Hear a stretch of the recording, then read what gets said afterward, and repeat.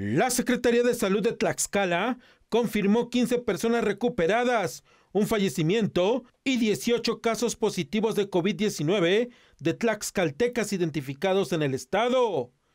De esta manera, Tlaxcala registra 6.142 personas recuperadas, 8.846 casos positivos y 1.321 fallecimientos.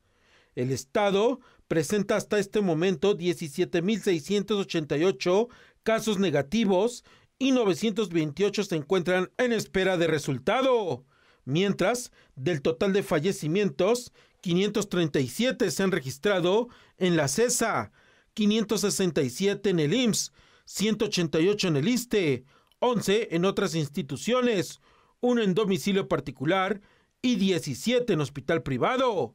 Hasta este momento Tlaxcala registra 1.607 casos, Apizaco 973, Chautempan 606, Huamantla 492, Zacatelco 435, Contla 301, Yauquemecan 265, San Pablo del Monte 245, Calpulalpan 239, Ixtacuixtla 221, Totolac 206, Tlaxco 198, Tetla 185, Papalotla 169, Apetatitlán 168, Panotla 166, entre los más relevantes.